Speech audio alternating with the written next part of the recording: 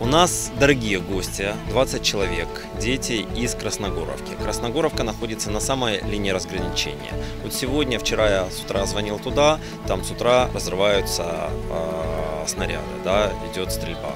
Мы очень рады, что мы их смогли вытянуть в нашу мирную жизнь. Мы очень рады, что они увидели Харьков. Мы очень рады, что они могут видеть, к чему надо стремиться. Мы надеемся, что они поняли, что Украина их не бросает. Почему? Потому что эти дети уже пять лет не видели, по сути, ничего ну, из мирной жизни.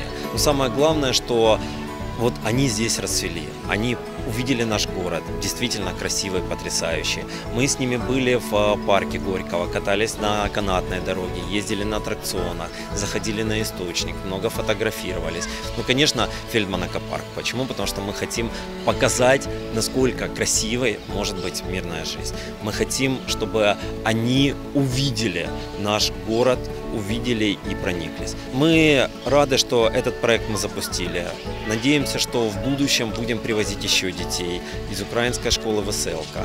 После того, как я разместил в Фейсбуке ссылки на эти мероприятия, то, что мы собираемся сделать, достаточно большое количество неравнодушных харьковчан откликнулось. Кто-то предлагал завтраки из своих заведений, кто-то предлагал какую-то культурную программу, кто-то просто спрашивал, чем мы можем помочь, может быть финансово, может быть хотя бы просто гидом провести по Харькову. Оказывается, мы не должны забывать, что они есть. Это не какие-то чужие дети, это наши. Детей чужих не бывает.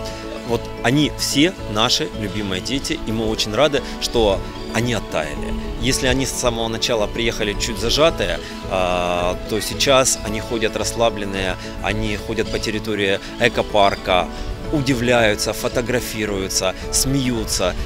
За это многое можно отдать.